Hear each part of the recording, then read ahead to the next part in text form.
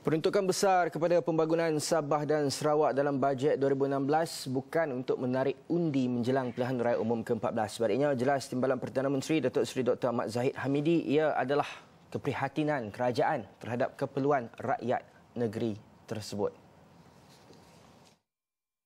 This is not about only general election, about the concern of Malaysian uh, government in giving benefit and uh, giving good services to uh, all their citizens.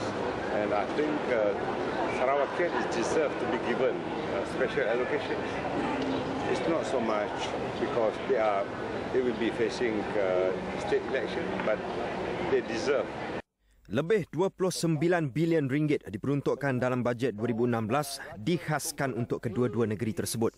Ia termasuk 16.1 bilion ringgit untuk pembinaan lebuh raya Pen Borneo LPB di Sarawak dan 12.8 bilion ringgit untuk LPB di Sabah. Selain itu, tiada bayaran tol bakal dikenakan kepada pengguna lebuh raya tersebut apabila siap kelab.